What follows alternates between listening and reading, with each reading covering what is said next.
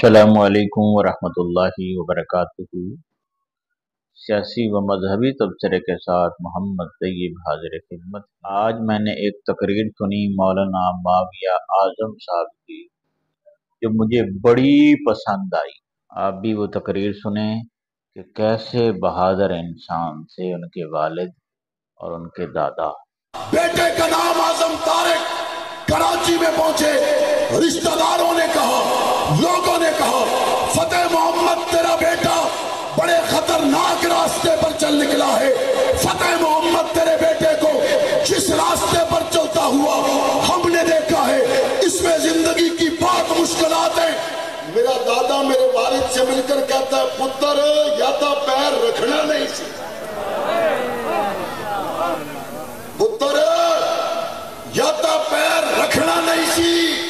ہوں جے پیر رکھ دیتا 死んだちょっと待って